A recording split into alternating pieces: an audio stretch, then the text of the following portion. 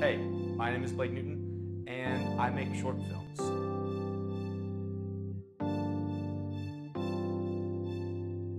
I like capturing moments and memories with my camera. I also post a vlog twice a week. That way, everyone can stay up to date with what I'm doing and follow me along on the journey.